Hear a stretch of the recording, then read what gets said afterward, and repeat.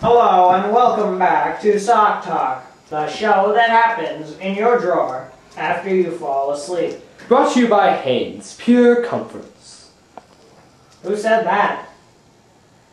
Anyway, today we're going to talk to a biologist who studies cells. Boring. This sucks. Shut up. Here he is, so please welcome Theodore Schwanjohn. Hello, I have brought some guests with me today. What? You can't do that. Please welcome my buddies, an inertia and un plant cell. I am an animal, sir. I am a plant cell. I am a plant cell too, also. Um, okay, two plant cells. These cells can reproduce by themselves by splitting apart. This process is called asexual reproduction. Shut up, it's not that funny. Asexual reproduction is, uh, makes all cells exist. Shut up! All existing cells are produced by other living cells. A cell is the most basic unit of life, and all organisms are made up of cells. And that is what these cells do. Um, okay. That's kind of boring, but Aha! This plant cell is no plant cell at all. gasp. gasp.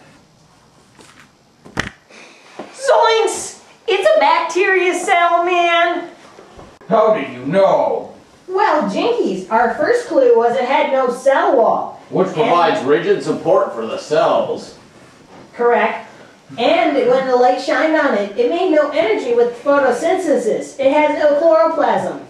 And it has two nucleus, which is wrong because bacteria cells don't have nucleus in the first place. And that fake plant cell had two nuclei, which one of them fell off because of continuity. It also has no mitochondria or vacuoles. Plus, the costume looked like a sock. It was a terrible costume. Well, join us next time when we talk about that smell that feet make.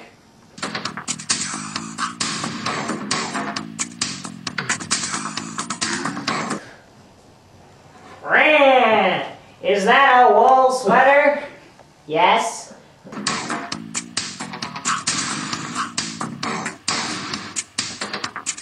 So, baby, wanna come back to my house later and. Ooh, Come with me.